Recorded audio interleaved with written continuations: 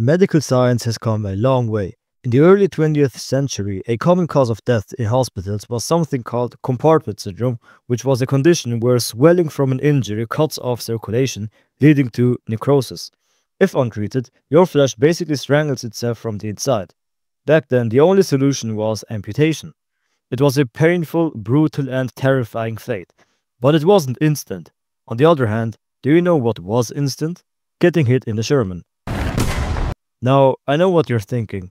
What the hell does compartment syndrome have to do with a World War II tank? Well, think of it this way. If a Sherman took a hit, there wasn't any time for swelling, no need for amputation, and definitely no risk of long-term complications, because you were already dead. What? Today, we're talking about the M4 Sherman. It's one of the most produced and most used tanks of World War II. If you've read anything about it, you've probably seen two main opinions. One side says it was a well-designed, reliable and effective tank. The other side says it was an under-armored, undergunned, rolling death trap. So, which side is right? Surprise, surprise, both are right. One side is just optimistic and the other side is too pessimistic.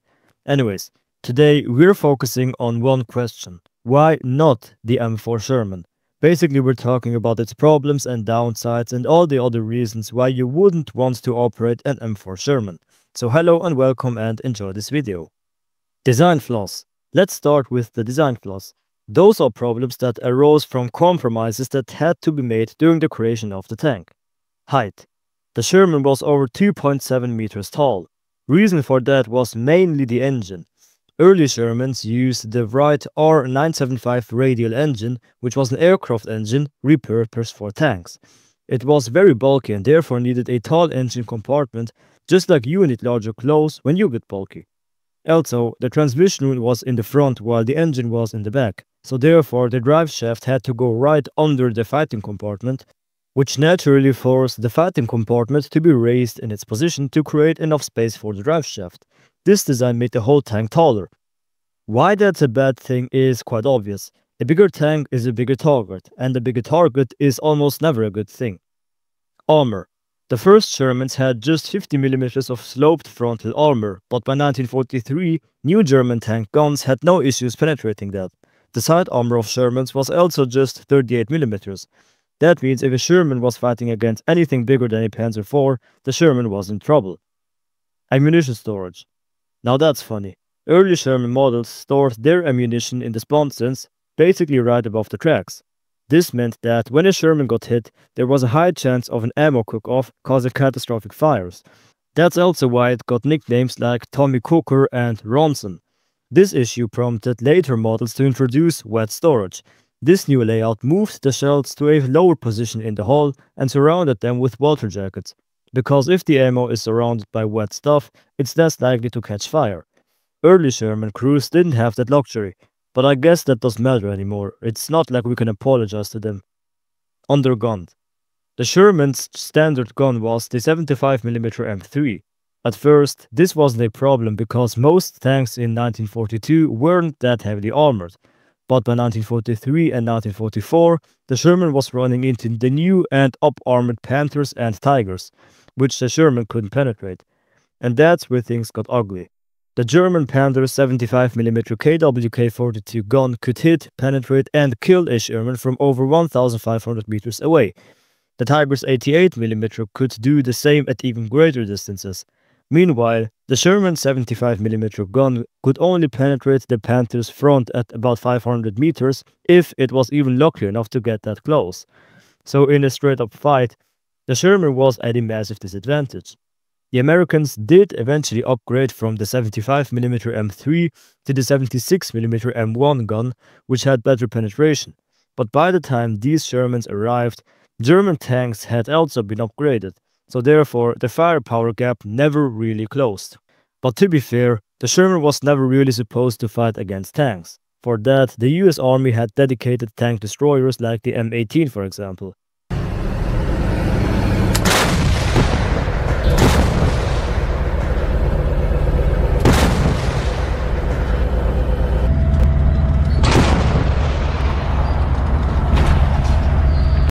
The Sherman itself was supposed to fight against infantry, not tanks.